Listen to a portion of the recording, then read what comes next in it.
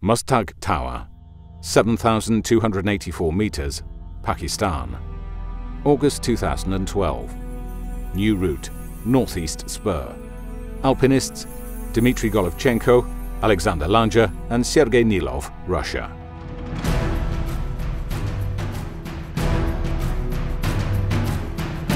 Much discussed, though never previously attempted, the 2,000 meter northeast spur of this iconic Karakoram peak took Russians Dmitry Golovchenko, Alexander Lange, and Sergey Nilov 17 days to complete.